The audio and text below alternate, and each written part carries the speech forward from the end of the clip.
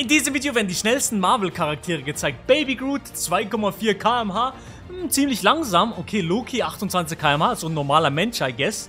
Das hier ist Nick Fury. Warum ist der schneller? Komisch. Ant-Man ist auch schneller. Wie erheben die das? Ganz ehrlich. Black Widow ist auf einmal 54 km/h. Black Panther, okay, ja, der ist fit, der ist, der ist da. Daredevil 84, okay. Hulk ist so schnell? Okay, kommt der normale Groot noch? Weil es war ja Baby Groot da. Keine Ahnung. Captain America, 96 km Spider-Man, let's go. Das ist der beste Marvel-Charakter. Thanos, Abfuck. Abomination. Thor, fast 200 km/h. Warum? Ohne Hammer? Falcon, 402, okay. Versteht man? Thor mit dem Hammer so schnell. 1300 Captain Marvel. Ich finde die nicht so nice. Ja, hier, War Machine, sehr, sehr geil. Ich liebe Iron Man 3700 km/h. Und jetzt der schnellste?